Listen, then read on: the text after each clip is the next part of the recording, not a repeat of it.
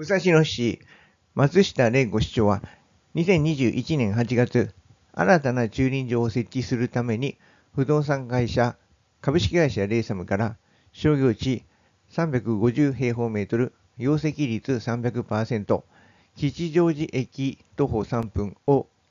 5億1850万円で購入した。同年10月、元の吉祥寺駐輪場280平方メートル、容積率600%、吉祥寺駅北口徒歩1分を同社に随意契約で8億6800万円で売却した。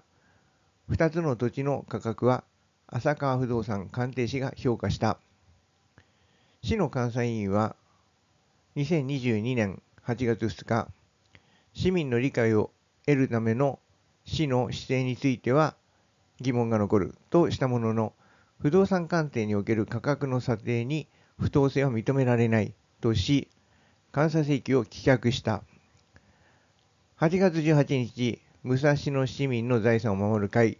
会長は元市議会議長田中節夫が結成された。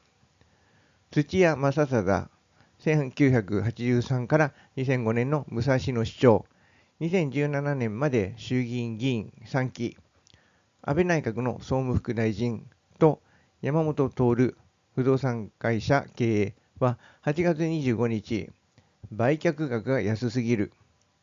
9億9870万円の損害を賠償しろとして市を訴えた。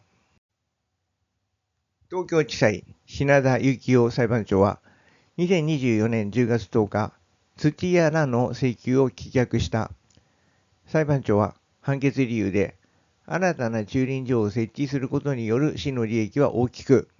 一連の土地取引は地方自治法施行令の競争入札に適さないときに当たると認定した。随意契約による売却は違法との土屋らの主張を退け、適法と判断した。土屋らは売却価格が安すぎると主張していた。だが裁判長は市が算定した価格について